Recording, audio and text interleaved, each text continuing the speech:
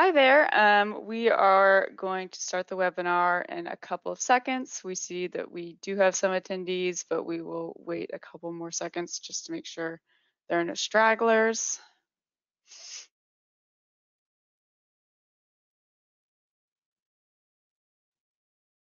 A couple more seconds just to make sure we do want to start on time.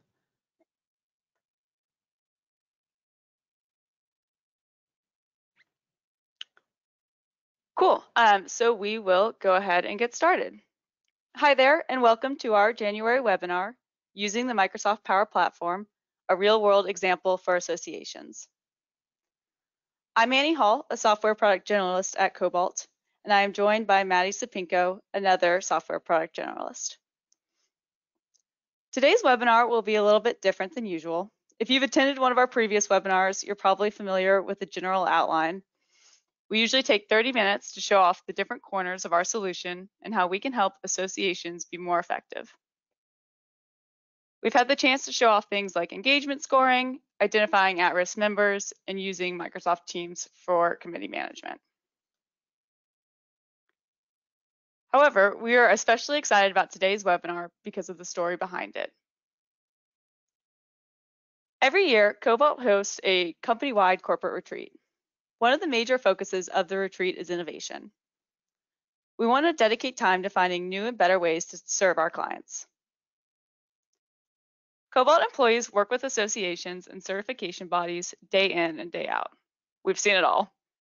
We know the usual workflows, processes, and of course, the usual pain points.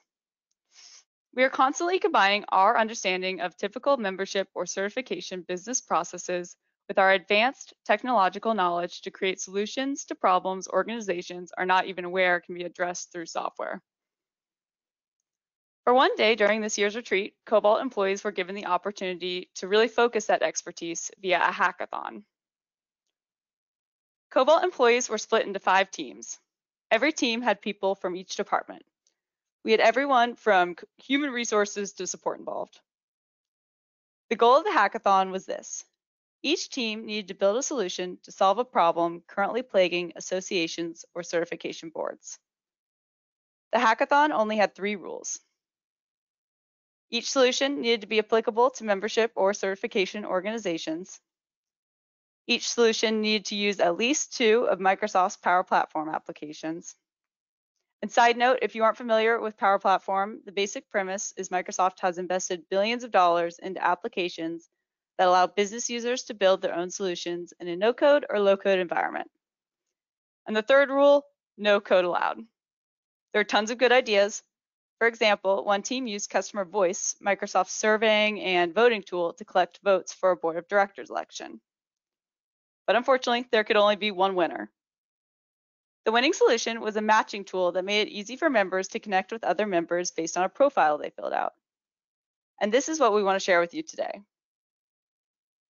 Associations have always offered great networking opportunities, both formally and informally. However, the pandemic has made that more difficult. Between video conferencing fatigue and strained resources, those same relationships are a lot harder for associations to foster virtually. And as you all know, highly engaged members are much more likely to renew their membership come due season. So the winning team wanted to find a way to use technology to keep members feeling connected to one another in these virtual settings. The winning team used Power BI and Power Automate to design a solution that acts as a matching service for professional networking. Here's how it works at a high level. People create a profile with certain things like their job title, industry, etc. Then, once they've set up their profile, they can submit match requests where they detail the qualities of a person they're looking to network with. The solution then goes through all the profiles and finds a profile that matches the criteria in the request. The great thing about the solution is it requires very little upkeep. An organization could set it up once and never think about it again, but it will continue to provide value to members. So this is what we're going to show you today, and throughout we'll illustrate how the Power Platform allows you to create these types of applications with no coding required. So let's go ahead and hop into the demo. We are now looking at an example of Cobalt's portal, which is available to all of our clients. The portal provides a way for members to interact with an association. Contacts can apply for membership, register for classes or meetings, purchase an item from the online store, etc. In this example, we've logged into the portal as Martha Hall. Martha is an active member of our association. Martha can log in and see quick information about her membership. Her join date, last renewal date, and expiration date. She can also see the address and email the association has on file for her and update that information if needed. All of that functionality is completely out of the box. Cobalt is well versed in the main functions of most associations, so we've made it so association staff can set up things like membership applications and event registrations with just a few clicks. However, sometimes associations have unique offerings that product, Cobalt's product doesn't have configured out of the box. Maybe your association has scholarships available for student members and you want to make that application process available on the portal. Or maybe you want to create a membership match service. Because our solution is built on Dynamics 365, it's extremely configurable. So in these instances, business users at your organization can simply configure the solution without any code and with any help from Cobalt to address these more specific needs. All the tabs at the top of the page, the events, committees, my orders, those all appear outside, uh, completely out of the box. However, the membership match tab, the focus of today's webinar, is a web element. Web elements are the way Cobalt solution accommodates organization-specific processes without any custom development. Web elements are a large part of how the winning team was able to make the membership match process possible. Let's go ahead and walk through how the team envisioned this process to work. Contacts who are interested in taking advantage of this service would set up a profile specific to the matching service by going to the Membership Match tab and click, clicking Submit Profile. The winning team envisioned the Membership Match service as both a membership engagement and recruitment tool, so they opted to make this a free service for members and decided to charge non-members a small fee. The hope for non-members is once they start to network with other members and learn more about association happenings, they will become part of the community and will want to be involved in parts of the association that are for members only. For example, they maybe they meet someone who holds a leadership position on a members only committee. The non-member learns more about the committee and wants to get involved, so they apply for membership with the association. The new service acts as a recruitment tool and because we're charging non-members for the service, it also creates a new non-dues related revenue stream. Because we are logged into the portal as a member, there's no sign-up fee. By showing the non-member price, we are subtly reminding our members the value of their membership. Okay, so we are a member of the association, but we have not enrolled in the membership matching service. Let's go ahead and complete the first step. We need to set up our MM profile. You can see we're taken to this form where we are asked to fill out information about ourselves. We've decided to capture information about experience, professional role, the type of networking relationships the contact is interested in, but all of these questions are completely configurable. Organizations can create a form without any help from Cobalt using Cobalt's form designer. Before we submit our membership match profile, we want to quickly show you what the form designer actually looks like. The form designer is extremely easy to use. You can choose which questions to ask and specify the format of the answer. You can see there are tons of different options. You can configure the questions so they're optional or required. Users can also break up long forms by creating different sections and pages to improve the user experience. The form designer makes it so your staff can easily create and update forms without ever needing to contact IT. Now that we've seen what the form designer looks like,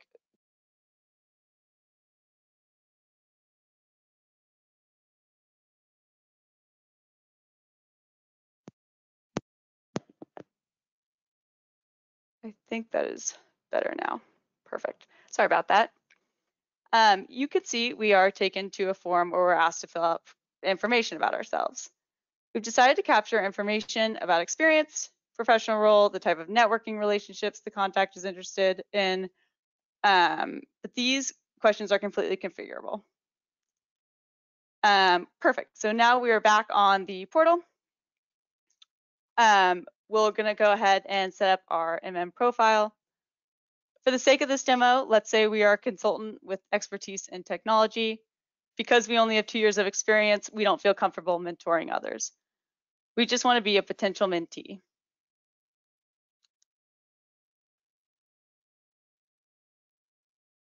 We are now given a chance to review our answers. We can change our answers by going back, or we can click edit and answer the and edit the answer right within the summary page.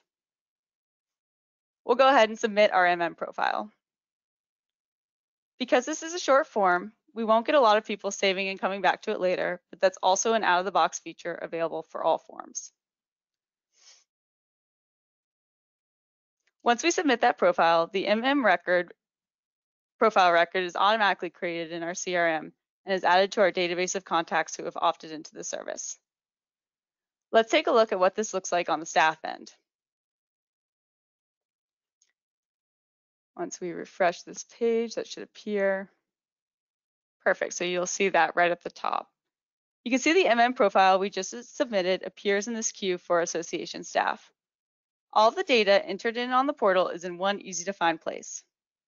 In this case, technology is tagged as the area of expertise, the job role is marked as a consultant, and just as we entered on the portal, this member is interested in being a mentee. Once a contact has created an active MM profile, they can start submitting match requests. They're not limited to one match request. They can connect with multiple people simultaneously. This is really great for two reasons. If a contact is working on a particular project, and they want guidance from someone with a specific area of expertise, they can submit a new request with this information. This new request won't divorce them from other matches, it'll just create a new one. This design also allows people to have larger networks. If a contact uses the matching feature frequently, they would have a larger people, group of people to network with. We've also used an out-of-the-box configuration to limit who can submit a request. So only contacts with that active MM profile can submit MM requests. Now that we've set up our own MM profile, we can start submitting match requests. Let's go ahead and walk through how a person with an active MM profile would submit a request. You can see here we are presented with this other fee page. We've configured this process to charge a not charge non-members a one-time profile setup fee, and once they've paid that fee, they can submit an unlimited number of requests free of charge. But if you did want to make it so people you were charging people on a per request basis, you can definitely set that up. You can see here we are presented with a form that's similar to the MM profile setup, but there are a couple of different couple of differences. During the MM profile setup, the form was configured to ask questions about the contact themselves. Now you can see these request questions are aimed at creating a solid match. We're asking about the relationship type. Is this person looking for a mentor or are they looking for someone who's interested in doing some general networking? We are also asking the preferred job role of the match. If the contact is interested in matching with an international member, along with a couple of other questions. Let's say our contact is seeking out a mentor who holds a job as an attorney. For now, we want to match with someone in the United States because we want to match with someone with experience in US employment law. So we'll go ahead and say we're not interested in connecting with an international member. And you'll see again, we are um, presented with a summary page where we can edit our answers, very similar to that MM profile setup, um, but we're gonna go ahead and submit the request. And once this um, request goes through, we will be taken to our receipt page. And once that membership match is submitted, the really cool part kicks off. The match request is sent through our, our matching automation tool.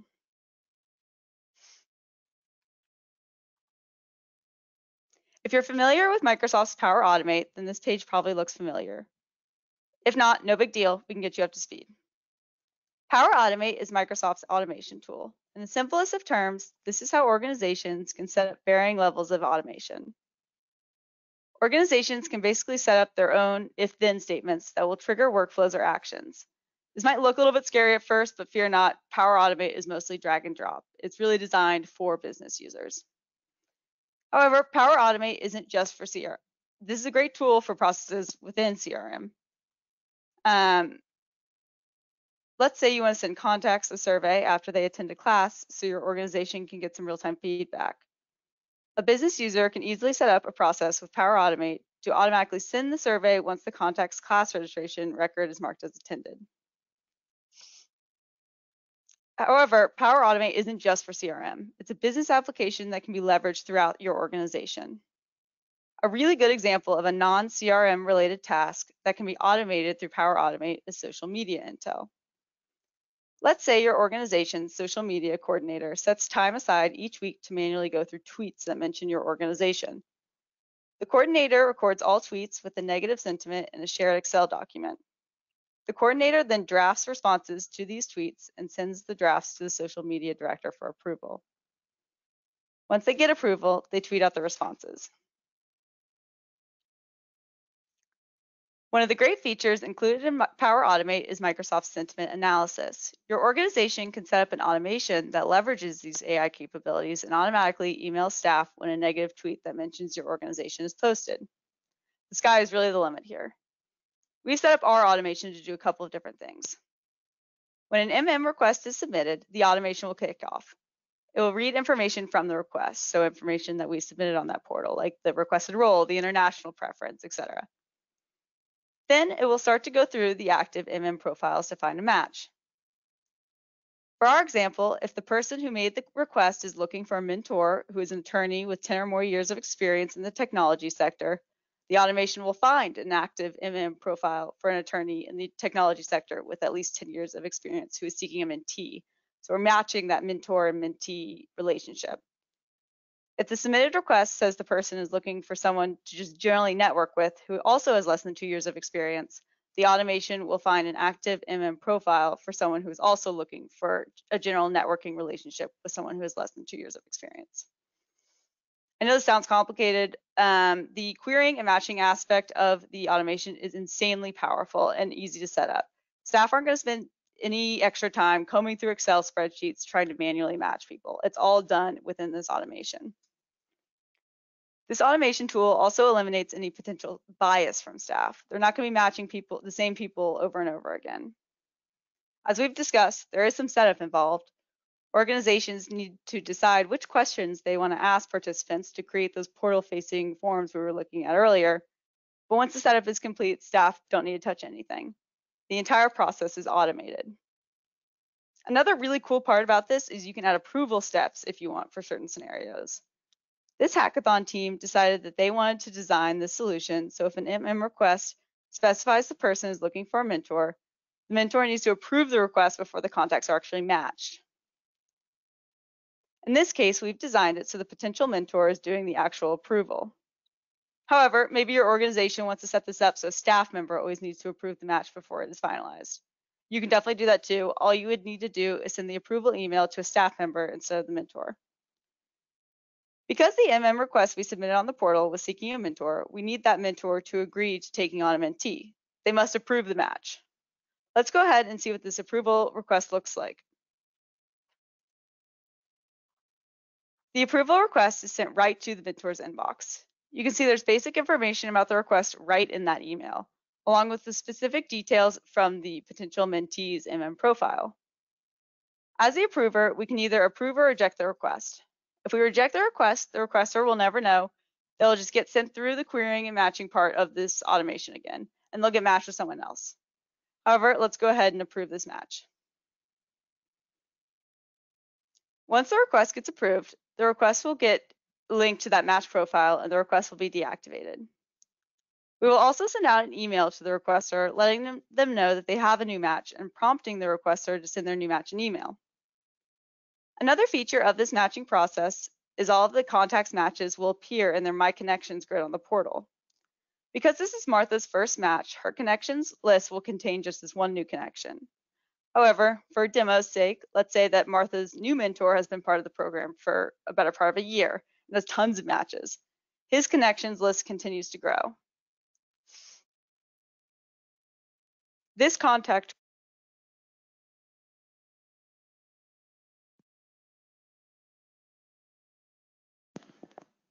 Hopefully that's a little bit better. Um, this contact grid is great for a couple of different reasons. This serves as a visual reminder that these relationships exist because of your association. It shows the value of your organization without any extra marketing efforts. This grid shows all matches, so contacts won't forget about older matches when they get a new one. The more people a person is actively engaging with because of your organization, the less likely they are to cut ties with your your association. The last reason this grid is great is because contacts need to log into the portal to access this grid. Once they log into the portal, they might notice an intriguing upcoming class on the portal homepage. They might even register for it. If they hadn't logged into the portal looking for that list of connections, they might not have registered for the class. Event revenue increases and so does member engagement. The membership match tool is a great way for associations to foster stronger relationships among their membership without any adding any extra responsibilities for staff. It is also one more service that you can promote to your members come due season. The membership match service also comes with another benefit, data collection. You can take the information that people are providing you with during the request process and feed that into something like Power BI for easy analysis. If you aren't familiar with Power BI, we're excited to be the ones to show you. Power BI is Microsoft's data visualization tool. You can do some really cool in-depth analysis with it and the visuals are amazing. Cobalt's out-of-the-box product comes with some pre-built Power BI dashboards for quick access to things like member retention rate or member conversion rate. Let's go ahead and look at the dashboard that we've configured to analyze data from our matching service.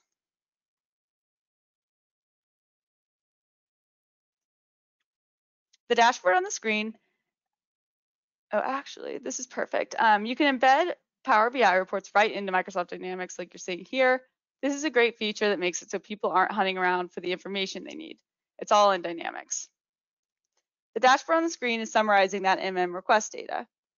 Um, you can see what we have this quick card that's just counting the number of requests we receive, along with a map of the requester's location and a list of the top 10 requesters. Towards the bottom of the report, we have a couple of different slicers we can apply. Power BI reports are dynamic, so if we filter by one of these slicer options, the entire report will update based on that selection. We can start analyzing our data by selecting one of these filters. Let's go ahead and pretend that I'm a staff member at an association and I want to use this data to improve our event offerings. Let's say we want to see how many requests are coming in for someone with an expertise in consulting. You can see that those top three visuals updated. It looks like only 13 requests have come in with that requested area of expertise. That doesn't really seem like that many. But what about technology? Oh, wow. It looks like there have been 69 requests for a connection with someone with an expertise in technology. That's a lot more than consulting. Maybe I should give our education department a heads up that it might be time to host a virtual webinar with a technology emphasis. Let's look at the different kinds of relationships people are looking for around the country. So focus your attention on that middle uh, visual. Let's see where the majority of people who are just looking to do some general networking are located. It looks like there are a lot of people in that South Carolina area looking to do some general networking. Maybe I should reach out to our South Carolina affiliate chapter to see if they would want to co-host a virtual happy hour. I also wonder if there are any trends in the locations of people who are looking for employment. Hmm, it looks like there are a lot of people in the Kentucky, Indiana area that are looking for employment opportunities. Maybe we could work on getting a resume work, writing workshop scheduled with some uh, HR people from the area. And this is really just the tip of the iceberg. Power BI offers so many different types of visuals, and you can decide what data you want to see and how you want to see it. You can use this data to better adapt your event offerings. Your members will be much happier with these tailored offerings and will be much more likely to renew come due season. Other staff members will also thank you. The events team won't spend time planning events with low interest. Instead, they'll be able to focus on events where we know there will be a ton of interest, like a class on technology. As we wrap up things for today, I want to make sure that you leave with three main takeaways. The first one is your AMS should be able to accommodate new programs and services without months of custom development. The solution we showed you today was created without any custom code. We are able to take advantage of Cobalt's flexible product offerings and combine it with Microsoft's Power Platform to create a solution in just a couple of hours. The second thing is associations should be able to leverage any data they can get from their members and use that data to improve the member experience. Trust me, your membership retention rates will thank you. And the last thing, the Microsoft Power Platform, when combined with Cobalt's product and employee knowledge, can be a potent, powerful tool to help your association provide va- better value to your members. Cobalt's always taking pride in constantly seeking out new ways that we can help our clients succeed. If you have any questions or if you are interested in seeing anything else that we showed off um, today on the in this demo and a more in-depth demo, um, please send us an email at sales at cobalt.net. Um, and thanks again for coming and big thanks to the Yellow team for this great solution. Thanks so much, guys.